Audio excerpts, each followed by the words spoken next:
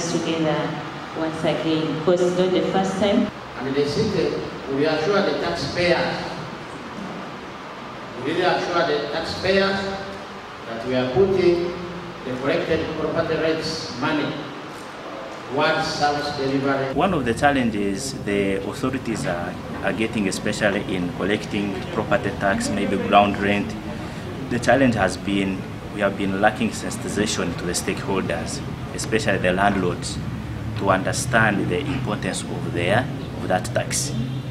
And I think this is a very good engagement now to start engaging them, but also to understand that the tax that they pay is the one that really contributes towards development and especially to develop this area.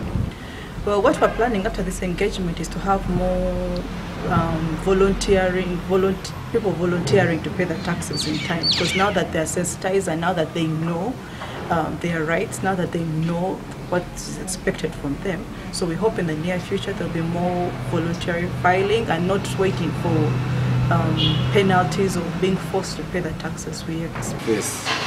Some of the challenges, sometimes when the technical staff are passing through in our villages, you may find that the, the actual landlord is not on ground.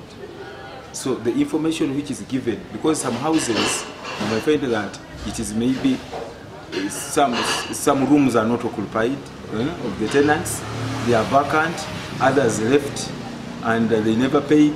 So as a, as a landlord, when the demand not comes, eh, it includes even what was not received. So that one is a challenge.